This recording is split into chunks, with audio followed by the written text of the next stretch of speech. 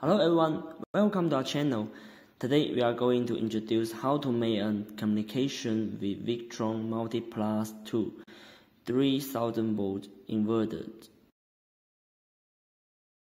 So in the first step, we already connected the positive and negative terminals to the inverter and Cerbo GX side.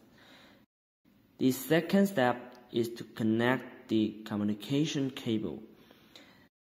The dip switch should be in all zero if you have only one unit battery and you'll find a communication cable and RJ45 connector in our accessories list.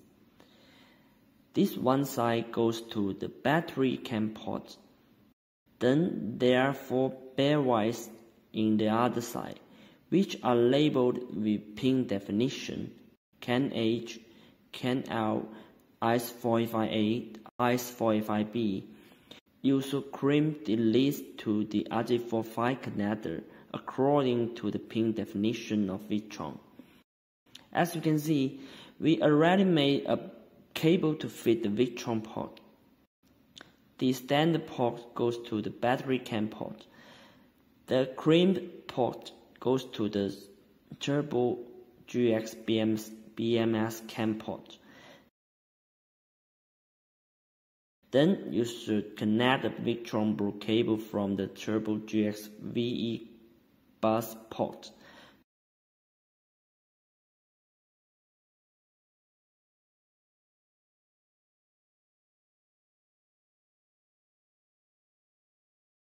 to the Multiplus VE bus port.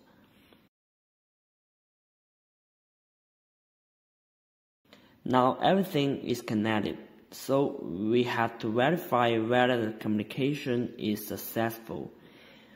We are going to connect the PC screen to Cerbo GX.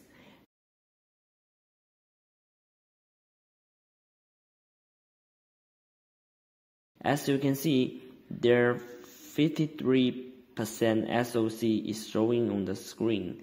And let's see the menu page. The battery was identified as Pylontech battery.